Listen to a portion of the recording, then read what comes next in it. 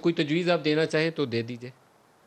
जी sir, मैं, मेरी तरफ़ से ये एक बात है कि जितने भी इन्वेस्टर्स हैं पाकिस्तान में, जितने बिज़नेस कम्युनिटी है I think they need to come forward and invest in this sector and investment का दो तरीके हैं। आप इनऑर्गेनिक ग्रोथ होती है एक्विजिशन से। आप बाहर मुल्कों में कंपनीज़ को देखें इन्वेस्ट करें और वहाँ से पाकिस्तान में काम लेके आएँ और किसी के साथ, किसी लोकल कंपनी को उठाएँ उसको ग्रो करने के लिए, क्योंकि काफ़ी लोकल कंपनीज़ में यू नो उनको इन्वेस्टमेंट नहीं मिलती। कोई हमारे बैंक्स आई सर्विसेज़ सेक्टर में लोन नहीं मिलते जब तक कि उनके पास कोई फिक्स कोलेट्रल ना हो।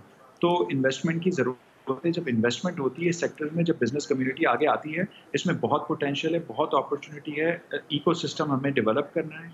हमें अपनी सप्लाई पे एज आई सेट के बहुत काम करने की ज़रूरत है। हमारी गवर्नमेंट को ईज़ ऑफ़ डूइंग बिज़नेस जितना हम आईटी सेक्टर को देंगे, उतना फ़ायदा होगा क्योंकि ये बच्चे बेसमेंट में और बेंगलोर में बैठ के काम करते हैं।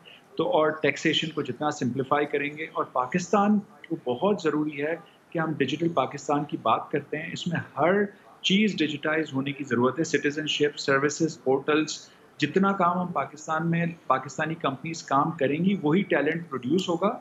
यहाँ से और वही टैलेंट और वही सर्विसेज़ एक्सपोर्ट होगी। हमें सिखाने के लिए बच्चों को ये लोकल मार्केट डोमेस्टिक मार्केट को खोलना पड़ेगा। हमारा जीडीपी का बहुत कम परसेंटेज इस वक्त आईटी का है अगर डोमेस्टिक बिज़नेस की बात करें। जब तक डोमेस्टिक बिज़नेस ग्रो नहीं होगा एक्सपोर्ट्स भी डबल नहीं होंगे। आपके प्रोग्राम तवसत से मुझे आसिफ साहब का नंबर दीजिएगा।